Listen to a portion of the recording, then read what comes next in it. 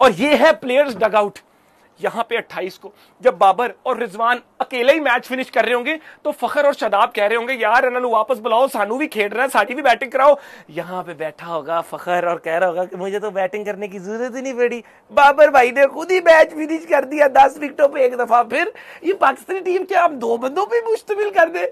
यार, लेकिन क्या बात है। कासिम भाई, मेरी तरफ़ से ना, अट्ठाईस को प्लेयर्स डगआउट में जो मर्ज़ी, उसमें सुशी रखवानी है आपने आपने उसमें सीजर सैलेड रखवानी है। इधर का खाना आपको कसम है मेरी तरफ़ से। ना नहीं करनी। देखिए एक, ना नहीं ना नहीं।